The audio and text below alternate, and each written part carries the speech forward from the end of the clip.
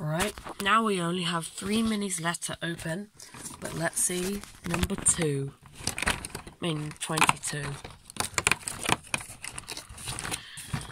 I got this advent calendar Percy, but if you look carefully, he didn't put in right.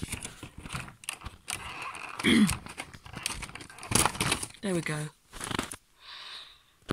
All covered in mail from the kids to get to Santa.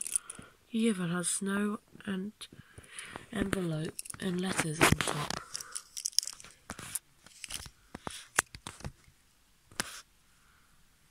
Hang on.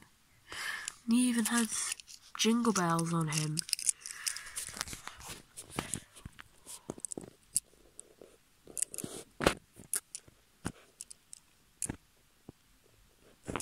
Now I only have James and Nia to open. I like this Percy one actually. See ya.